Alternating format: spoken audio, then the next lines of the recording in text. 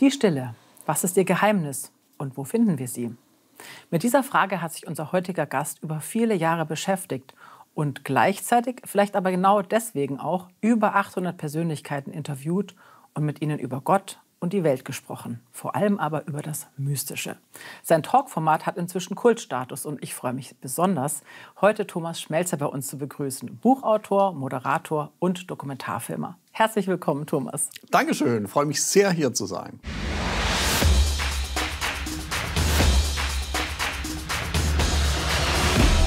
Hallo Thomas, schön, dass du bei uns bist bei Panteray TV. Hallo, ja, freue mich sehr und ich finde es auch toll, euer neues Format. Die Farben sind wunderbar, deine Moderation und freue mich jetzt mal in anderer äh, in anderem Setting hier zu sitzen. Und, genau, ja. jetzt musst du mal sprechen, du darfst mal sprechen. Jetzt wollen die Leute mal von dir wissen, wer du bist und ähm, was dich alles so begleitet hat, was dich getrieben hat all die Jahre. Ich habe das ja beobachtet, ich habe schon viele deiner Interviews gesehen und habe mich immer gefragt, was ist das eigentlich, was den so unabhängig gemacht hat? Kannst du das irgendwie beschreiben, dass du so unabhängig deinen Weg gehen konntest? Es war natürlich ein Weg, ein Entwicklungsweg. Ne? Also erstmal Schule, normal, hier dann Abi, zweiter Bildungsweg, dazwischen eine Ausbildung gemacht, wo ich merkte, nie mehr mache ich irgendwas, wo ich nicht wirklich dahinter stehe. Ich habe so dazu durchgezogen. Dann hatte ich eine Krebserkrankung und äh, das hat mir gezeigt, ich kann nur noch das machen, wo mein Herz lacht. In dieser Krebserkrankung wurde mir wirklich klar, wie weit ich von meinem Herzen schon wieder entfernt war. Es war eine schwierige Jugend, schwierige Kindheit. Ab da wusste ich, was mich wirklich fasziniert und wirklich interessiert. Eben das, was ich da erleben durfte. Es war eine sehr intensive Geschichte. Metastasen in der Wirbelsäule, Chemotherapie und all dieser Kram. Und in dieser Zeit hatte ich wirklich ein mystisches Erlebnis, wo ich erstmal durch den ganzen Schmerz, durch alles durchfiel, wo ich gesagt habe, okay, dann soll geschehen, was geschehen soll. Und ich landete wirklich in meinem Herzen und in der Stille. Und ab da wusste ich, das ist es, was mich fasziniert und interessiert. Wenn ich sowas Wunderbares auf Erden hier erleben darf, das will ich erforschen, darüber will ich berichten. Und ich wusste vorher schon, ich will in den Medien tätig sein, sein aber ich wusste überhaupt nicht, worüber will ich überhaupt sprechen, was interessiert mich. Und ab da wusste ich's. Und ähm, ansonsten war es einfach ein langer Weg des äh, Versuches, äh, des Recherchierens, ähm, des Lernens, der Moderation, Schauspiel, Filme machen, habe ich mal alles so ein bisschen nebenbei immer wieder selber beigebracht. Dann im spirituellen Bereich immer wieder dazugelernt. Aber die Vision war klar, über Spiritualität möchte ich meine Medienarbeit machen und irgendwann sogar eine große Show. Und naja, so, ich bin dem treu geblieben, äh, immer mit dem Risiko, zwischendurch auch mal arbeitslos zu sein und wenig Geld zu verdienen. Aber lieber so, lieber dem Herzen folgen, lieber dem eigenen Licht folgen, dann bist du glücklicher. So habe ich es immer gefühlt. Ich habe ein bisschen geschmunzelt, als ich deine Website durchgeschaut habe und gesehen habe, Höhepunkt deiner Moderatorenkarriere schreibst du 2001 in der Kindersendung von Super RTL. Dachte ich so, gibt's ja nicht. Also jetzt kennt man ihn für diese vielen, vielen Interviews, auch mit ganz außergewöhnlichen Persönlichkeiten aus dem Ausland, die über ja, Transzendenz, Gotteserfahrung und so weiter gesprochen haben. Ist es mit einem Augenzwinkern oder hast du das sozusagen auch für die geschrieben, die eigentlich sozusagen an RTL und an dem offiziellen ähm, Medienkanon auch orientiert sind? Wie meinst du das genau? Gute Frage. Ich muss es sagen, ich werde es ändern auf der, in der Vita, weil es war mir gar nicht so bewusst. Das habe ich damals äh, sicherlich geschrieben, als ich noch mehr in der Fernsehwelt mich etablieren wollte. Es war ein Höhepunkt. Es waren 200 Folgen, war ein Riesending. Viele Kinder haben das gesehen. Heute Erwachsene sprechen mich immer noch drauf an. Aber in der Tat war das ja noch gar nicht meins. Ne? Ich habe äh, Texte auswendig gelernt, von mir gegeben. Ich habe mich mit Kochen und Essen beschäftigt. Leute, die mich persönlich kennen, schütteln den Kopf. Was, du? Kochen, Essen? Ja, also Essen tue ich gerne, aber Kochen bis heute nicht. Aber trotzdem ging es darum, natürlich den Kindern beizubringen, wie, wie Nahrung entsteht und so weiter und so fort. Aber es war natürlich eine super spannende Erfahrung. Ja? 200 Folgen in allen möglichen Settings, mit Kindern, ohne Kinder, frei zu moderieren, nicht frei, äh, viele Texte auswendig zu lernen. Da habe ich sehr viel gelernt. Später auch im TV-Kolleg Wirtschaft. Das waren so Stationen im Fernsehen, wo ich aber immer fühlte, das machst du nicht ewig, das lernst du jetzt verdienst du gutes Geld und so, aber du wirst was anderes machen. Ich kann nur, irgendwann wusste ich, ich kann nur noch die Themen machen, die mir echt am Herzen liegen. Und irgendwann haben wir einfach angefangen, 2008, erste Interviews zu drehen mit zwei Kameras. Ich saß, saß so stocksteif da, habe zwei Fragen gedreht. Der Interviewpartner zehn Minuten geantwortet und so. Und dann hat sich das allmählich entwickelt. Ab da wusste ich aber, ja, Das ist mein Ding. Wer waren so deine ersten Gäste? Weißt du es noch? Ähm, Jeanne Ruland war eine wunderschöne Begegnung, wow. die ich vorher auch schon kannte. Äh, ein Astrologe, Christopher Weidner, das ist irgendwie acht Minuten über Astrologie, ein bisschen wenig, aber das war trotzdem. Und ähm, äh, ein Interview, das nie online ging, weil wir die Kameras vertauscht haben und es technisch nicht ging, Tich Nathan. Ich habe eine Stunde oh. mit Tich Nathan gesprochen und hinterher haben wir gemerkt, oh scheiße, die Nahe und die Totale waren ausgetauscht und es war nicht zu gebrauchen. Aber das waren so erste Erfahrungen. Und dann so allmählich kamen immer mehr Leute dazu. Ja, und inzwischen hast du den ganzen Kanon, kann man mehr oder weniger sagen, auch international abgeschritten. Deine Titel, also der erste Dokumentarfilm hat im Untertitel Das Geheimnis der Stille. Und zwar No ist der Haupttitel, das kannst du vielleicht gleich noch erklären. Dein Buch jetzt heißt Die Stille in mir. Also was, hast du's, was hat es mit der Stille auf sich? Ja, ich finde grundsätzlich, deswegen fand ich doch auch die Anmoderation so schön, es immens wichtig, immer wieder daran zu erinnern, wie heilsam es ist, wenn man sich jeden Tag ein bisschen Ruhe und Stille gönnt, wenn man jeden Tag ein paar Minuten für sich ist. Das muss ja nicht in große Meditation ausarten, da hat ja auch nicht jeder Lust dazu, aber in der Natur zu sein, sich zu erleben, einfach zu sein. Irgendwo auf dem Platz, auf, auf dem Stuhl zu sitzen, einfach wie fühle ich mich denn gerade, was ist denn gerade los, den Körper wieder mehr zu fühlen. Und dadurch kommst du schon mehr in die Stille. Und ähm, das ist eben etwas, finde ich, unglaublich Heilsames, wenn du dann auch doch Lust hast zu meditieren und zu erfahren, dass du natürlich in der Meditation in eine so wunderbare, tiefe, erfüllende Stille kommst. Da ist kein Gedanke mehr da, da ist kein Gefühl mehr da, da ist ein Erfülltsein da, du fühlst dich im Herzen kraftvoll hochbewusst. Meditation ist ja nicht wegmeditieren, sondern du bist ganz wach, ganz bewusst, ganz da. Und das ist so wunderbar. Und plötzlich kommen dann plötzlich Antworten. Fragen auf das Leben, die du immer wieder gestellt hast, in der Stille kommen sie da plötzlich. Ja, kannst du auch erstaunt sein, wo kommt das her? Vielleicht von meinen Hörern selbst oder Geistführer, das muss man jetzt gar nicht so genau unterscheiden. Aber die Stille hilft eben auch, dass du wieder ein bisschen auf deinem Weg kommst. Und der erste Film, den man im Moment jetzt gar nicht äh, irgendwo kriegen kann, wir werden gucken, dass man den wieder streamen kann, ist tatsächlich ein Film über das japanische Nottheater. Da habe ich die Ehre gehabt, für Arte WDR äh, sieben Wochen in Japan zu verbringen und über das Nottheater zu berichten. Das hat so einen Stellenwert wie bei uns die Oper. Und es sind so Leute mit Masken und es ist eine sehr schräge Musik und das so, oh, nicht, und dann bing, und das ist so wirklich völlig strange. Und zwischendurch verharren alle Schauspieler und auch das Publikum und es ist ein magischer Moment der Stille. Deswegen hier ähm, der Titel auch. Ja. Was mich auch, was mich fasziniert hat, als ich das alles geguckt habe, ich habe ja vieles dann auch sozusagen mal ange, angeteased, ähm, war, dass du die Leute immer auch irgendwo abholst und sozusagen die Fragen stellst. Also wenn dir jemand sagt, äh, zum Beispiel, was habe ich da, ähm, diese Mettlerin, das fand ich besonders lustig, diese Queen of, of Metal, Doro Pesch, äh, die dann auch erzählt hat, wie sie als Vegetarierin lebt und aber gleichzeitig auf der Bühne ist, die von ihren vorherigen Inkarnationen gesprochen hat, dass sie mal ein, so eine Art Haudegen war, der viel gesoffen hat und in eine Prostituierte verliebt war und so weiter. Und du hörst dir das alles an, aber du gehst dann immer auch den Schritt zurück und sagst, kann sein, aber kann auch nicht sein. Also der Zuschauer bekommt auch immer wieder diesen Wink, okay, wer weiß, ob es wirklich so ist. Den Thomas, dem gehe ich, da gehe ich jetzt mal mit, weil der stellt es auch immer noch in Frage. Der, der rennt nicht allem sofort hinterher und sagt zu allem Ja und Amen. Ähm, ist das leicht oder wie hast du das empfunden? Kann man da auch immer wieder heraustreten oder lässt du dich auch gerne mal mitreißen? Ähm, es ist ein spannendes Erleben ich sag mal so, ich liebe es, den ganzen Tag über Spiritualität zu sprechen und kann jetzt ein bisschen davon leben. Die Kamera läuft nebenbei, wie hier jetzt auch. I love it. Ich liebe es einfach. Und da bin ich der Thomas, der ganz persönlich erstmal sich wirklich für die Leute interessiert. Das ist ja das Tolle bei so einem freien Format, wie bei euch auch. Ich kann mir aussuchen, wen ich einlade. Und bin deswegen immer wirklich an der Person und auch am Thema interessiert. Und äh, dann lasse ich mich auch überraschen. Also manchmal geschehen dann so Gespräche, wo der Gast auch sagt, hey, so habe ich mich noch nie reden hören. Und wie, wie, wie spät ist es denn jetzt eigentlich hier? Äh, Zeit und Raum sind völlig kein Gefühl mehr für die Zeit und dann weiß ich, wow, da ist es was Tolles geschehen.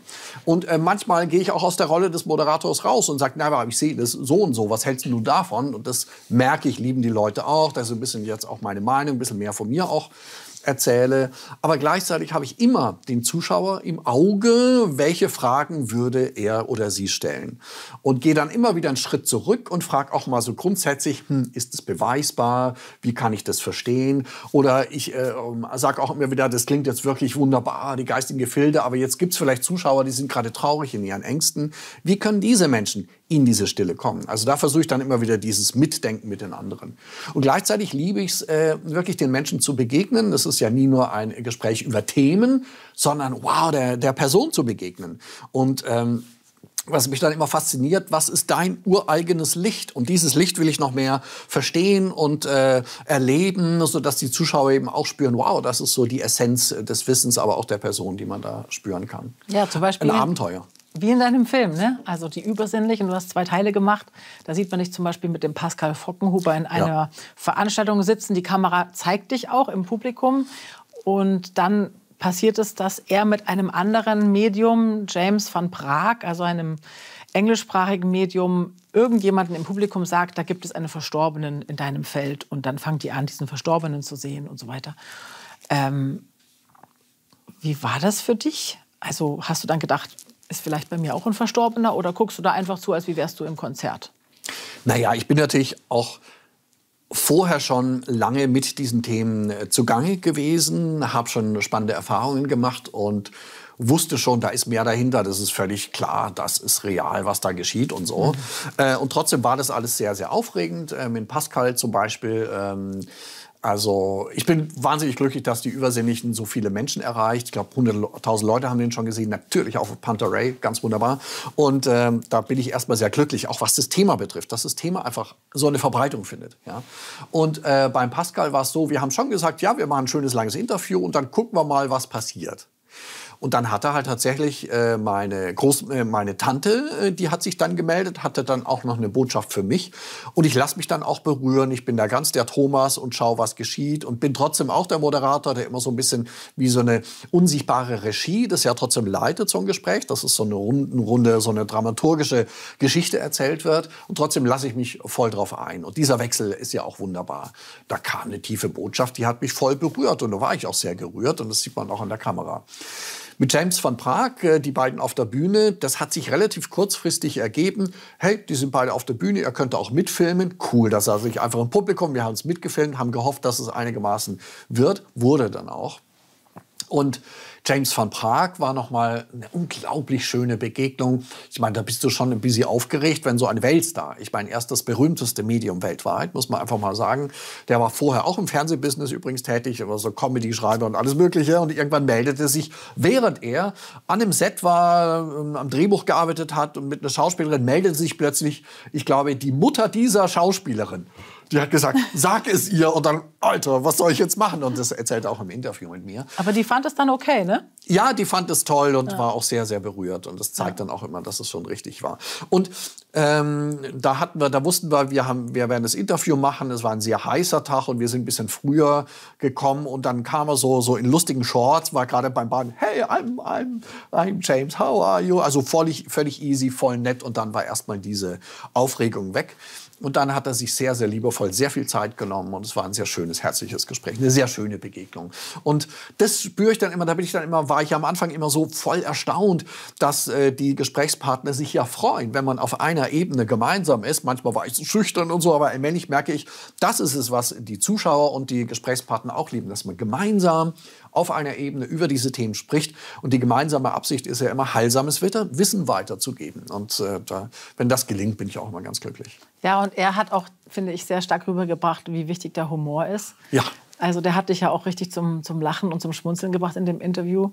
Das ist sozusagen die eine Komponente und gleichzeitig bist du richtig tief eingetaucht in bestimmte Gespräche. Also ich denke jetzt da zum Beispiel an diese Reinkarnationstherapeutin auf dem, auf dem obersten Punkt einer Burg. Magst du davon mal erzählen? Ja. Das war ja schon auch ein eher ernstes Gespräch, wenn ich das richtig in Erinnerung habe. Was habt ihr da besprochen? Ja, das war in der Nähe von Salzburg. Gibt es so eine schöne Burgruine. Und ich bin ja doch überzeugt, mal im Mittelalter schon gewesen zu sein. Wahrscheinlich nicht als Ritter, sondern als Minnesänger, was ich dann auch in diesem Film so erzähle. Deswegen dachte ich, das passt.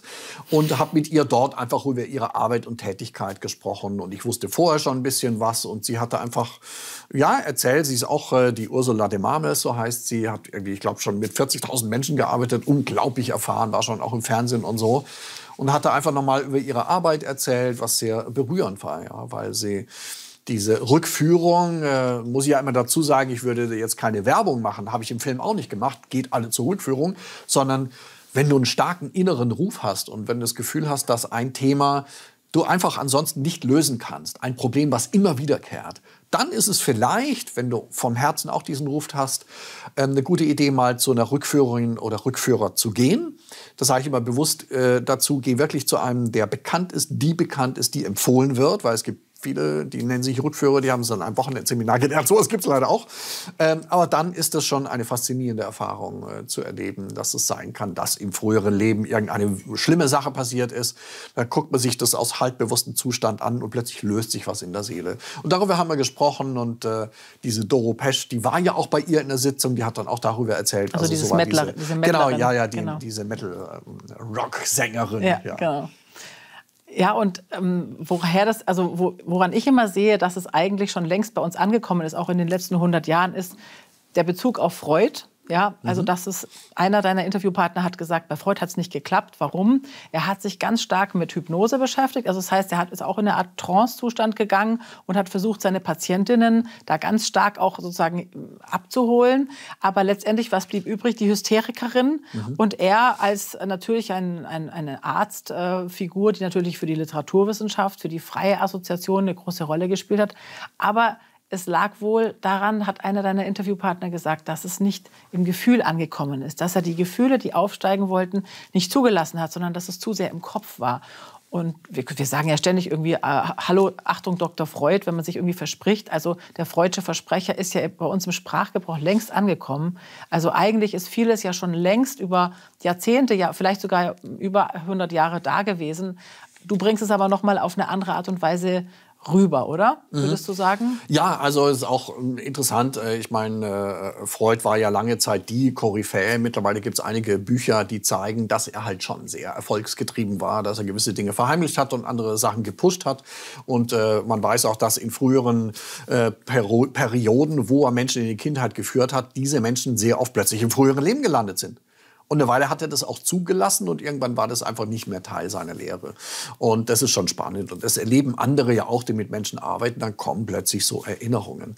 Und Jung ist da ein bisschen weitergegangen. Der sprach ja dann schon von den Archetypen und er sprach sehr viel mehr auch von äh, Wiedergeburt und diesen Dingen. Ich würde sagen, das ist auch im Laufe der Gesellschaft so, dass damals man das auch noch gar nicht hätte annehmen wollen, selbst wenn jetzt ein anderer Psychologe noch mehr über Wiedergeburt gesprochen hätte. Ich glaube, allmählich ist jetzt die Zeit dass immer mehr Menschen sich für dieses Wissen öffnen. Wobei es immer wieder Wiedergeburt eine Rolle spielte. In meinem Wiedergeburtsfilm beim Bonusmaterial gibt es auch so einen kleinen Bereich, wo gesagt wird, dass Wagner in seiner Oper, und zwar Parsival, da gibt es ja von Kundry wird gesprochen, die in früheren Leben auch schon seine Mutter war. Das heißt, äh, selbst Wagner hat in seinen Opern schon immer wieder diesen Gedanken der Reinkarnation eingebracht und auch die äh, Idealisten, die äh, Philosophen äh, äh, aus früheren Jahrhunderten, da gab es immer wieder welche, Schopenhauer und so, die sehr an Wiedergeburt geglaubt haben. Aber in der großen Öffentlichkeit habe ich das Gefühl, wird es jetzt allmählich immer normaler, auch über dieses Thema zu sprechen. Und da, äh, da merke ich auch, da war ich so berührt und getrieben. Ich hatte echt vor 25 Jahren schon angefangen, äh, Material zusammen zum Thema Wiedergeburt, so nach dem Motto, wenn ich irgendwann Filmemacher bin, mache ich vielleicht auch mal Film drüber. Das habe ich dann vergessen und witzigerweise vor drei Wochen habe ich meine ganzen alten Unterlagen durchgesehen, habe ich dieses Material wieder gesehen und da wusste ich, war wie so ein innerer Auftrag. Ja. Ja, manchmal erkennt man ja dann auch Sachen wieder in alten Unterlagen, altem Material, was man eigentlich schon längst vergessen hat. Genau. Aber dadurch, dass man es wiederfindet, fällt einem dann ein, das beschäftigt mich eigentlich schon, schon immer, schon ganz ja. lange. Und das war für mich auch ein toller Moment. Wiedergeburt, nicht nur im Buddhismus und im Hinduismus, sondern auch 30 Prozent der Christen glauben anscheinend an die Wiedergeburt. Das hat ja dieser schwedische Wissenschaftler gesagt, wenn ich richtig informiert bin, ja, oder? Mohr, Till Amor, der hat, Genau. äh, der hat auch ein dickes Buch geschrieben, sehr, sehr spannend. Und äh, der hat sozusagen so ein bisschen gezeigt, dass viele Stellen in der Bibel auch so gedeutet werden können, dass da durchaus von äh, Wiedergeburt die Rede sein kann. Ähm, so, wo Jesus mit Elias, glaube ich, spricht und der sagt, du warst in früheren Zeiten schon Johannes. Das war, glaube ich, eines der berühmtesten Zitate. Und es gibt also, und es gibt auch so Informationen, dass vor dem äh, Konzil zu Nicäa, glaube ich, um 340, im Film wird es genau genannt, ich weiß gerade nicht mehr genau, vorher war das durchaus noch äh, für einen Teil äh, der äh, Gläubigen völlig normal an Wiedergeburt zu glauben. Und irgendwann wurde halt sozusagen von oben beschlossen, was ist jetzt die gängige Sichtweise. Dann wurde das sozusagen irgendwann ausgeschlossen. Das heißt, die frühen Christen in den ersten Jahrhunderten haben durchaus viele auch ganz offiziell über Wiedergeburt gesprochen. Und der Bariton Papadopoulos, den hattest du auch im Interview, der sagt auch so schön, er sei mal ein Minnesänger gewesen. ja. Also du bist Voll auch auf, auf Musiker zugegangen und es sind äh, eigentlich durch die Bank auch sehr, fast immer sehr offizielle, offiziell wirkende Persönlichkeiten, finde ich. Also sehr auch mit Doktortiteln, ähm, mit Honoratioren ausgestattet. Denkt man gar nicht bei diesem Titel. Und äh, jetzt ist ja sozusagen die Frage, wie, wie transzendiert sich das jetzt in die Zukunft? Also was meinst du, wie wird es aussehen in der Zukunft? Wo, wo gehen wir hin? Ja, also zunächst mal, mir war es ja immer wichtig, äh, sozusagen nicht nur die esoterisch bekannten Leute zu interviewen, weil das kennt man eh schon, sondern zu gucken, wo gibt es denn ganz normale Leute, die auch so Erfahrungen gesammelt haben.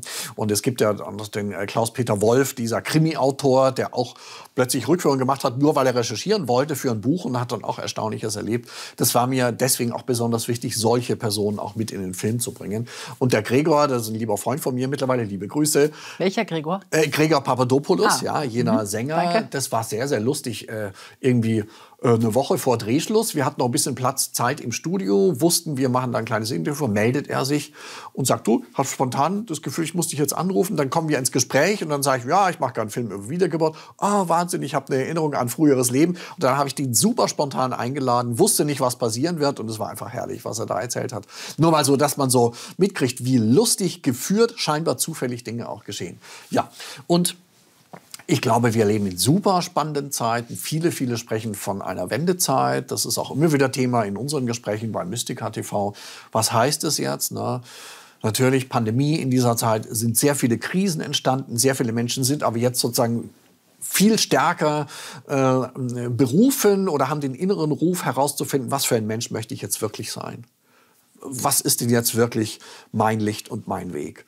Und ähm, viele Glaub- Menschen. gla- Entschuldige, glaubst du daran, dass jeder Mensch auch selbst entscheiden kann, ein anderer zu werden? Glaubst du, das ist möglich? Äh, nee. Ich glaube, man muss auch dazu sagen, wir sind so unterschiedlich. Ja, ist, ähm, deswegen bin ich immer sehr vorsichtig zu sagen, das und das ist Regel und so sind alle. Aber ich würde schon sagen, dass sozusagen das Leben, unser höheres Selbst, unser Lebensplan, dass es da gewisse Dinge gibt, äh, was wir uns vielleicht vor diesem Leben bewusst oder unbewusst vorgenommen haben.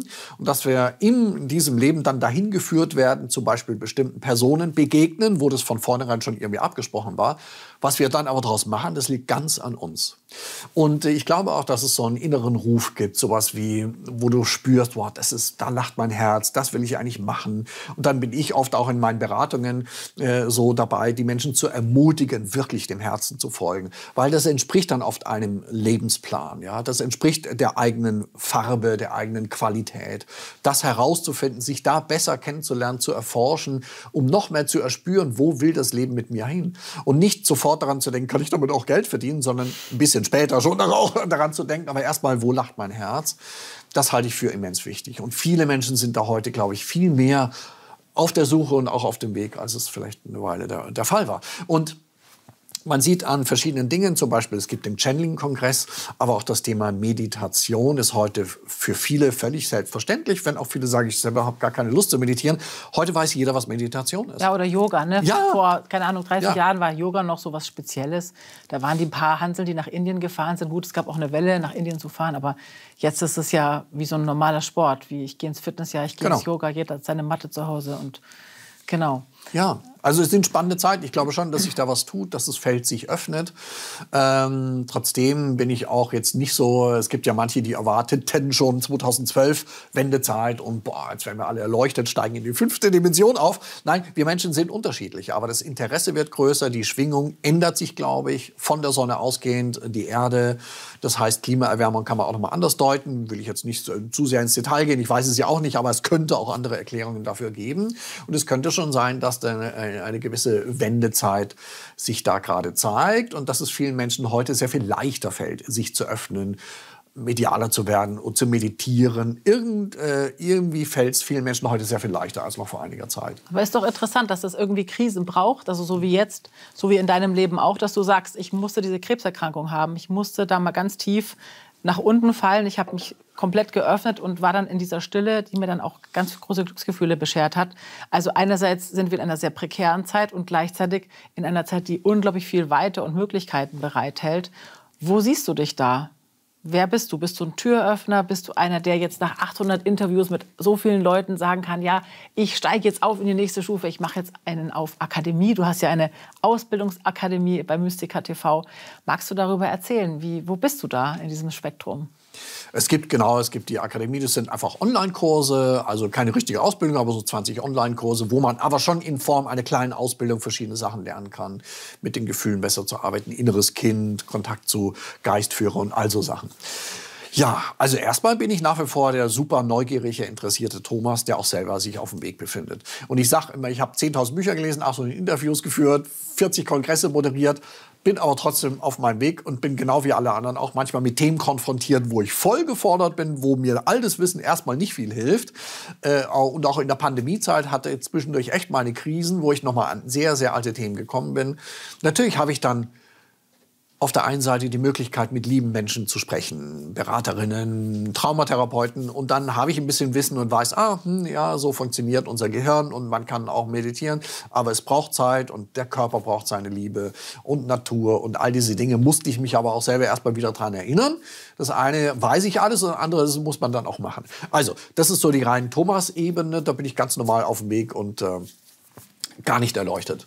Das macht aber auch nichts. aber du hast erzählt, Du wolltest mal erleuchtet sein. Das ist richtig, ja. ja. Ich hatte schon verschiedene Stufen das? und äh, ich war eine Weile auch bei einem spirituellen Lehrer und habe da Wunderbares erfahren. Auch vorher schon in Satsangs. Das ist so Zusammensein mit der Wahrheit, ist auch ein Begriff aus dem Indischen. Und da gab es einige spirituelle Lehrer, die mich fasziniert haben. Samapan ist jetzt einer davon.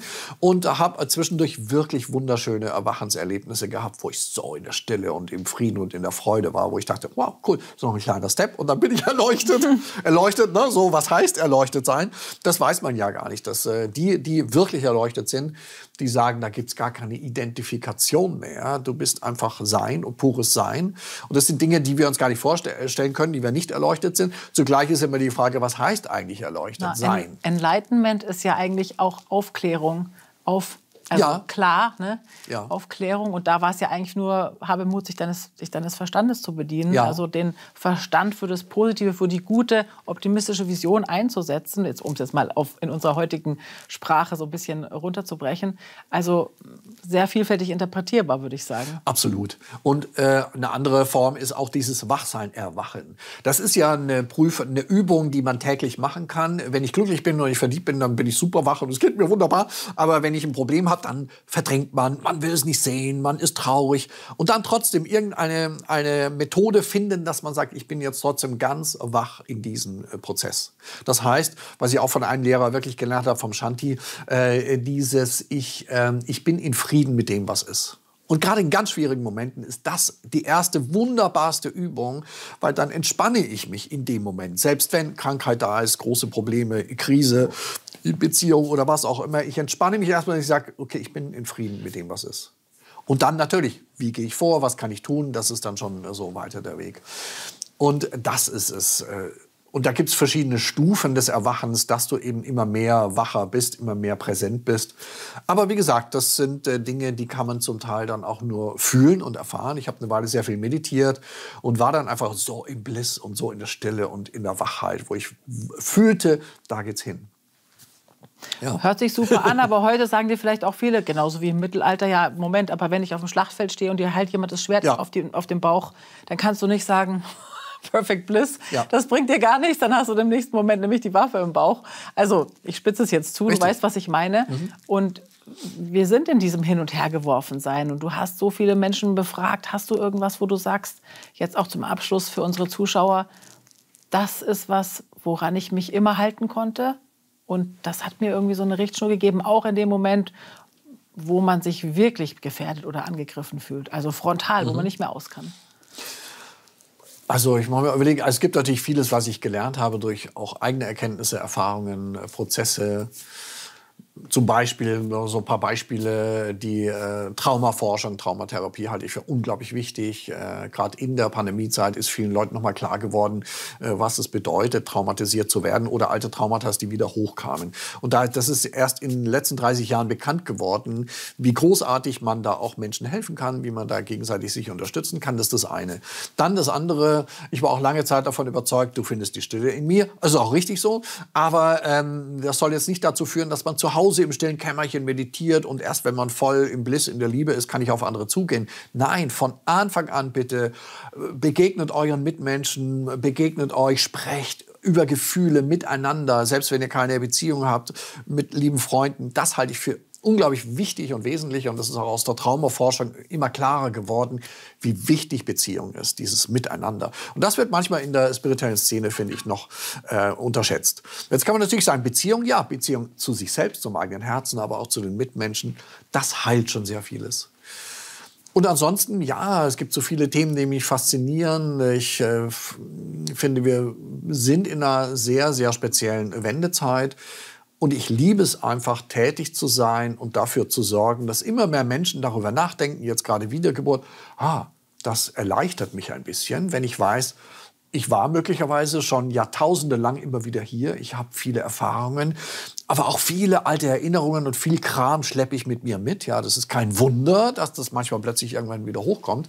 Aber das Tröstliche für mich ist, ich glaube absolut daran, dass die Evolution voranschreitet, dass es äh, immer weitergeht in Richtung Bewusstseinserweiterung, in Herzöffnung für uns alle, aber auch als Menschheit. Und das ist zutiefst tröstend. In jeder schwierigen Stunde kannst du wissen, es gibt Blockaden, es gibt Pausen, es gibt verrückte Erlebnisse, aber es geht weiter und letztlich dient alles deinem Seelenweg, deiner Bewusstseinsentwicklung. Und das finde ich so wichtig als Botschaft und da glaube ich zutiefst daran. Ja, und da sind wir jetzt wieder bei der Stille, da wo wir eigentlich auch angefangen haben.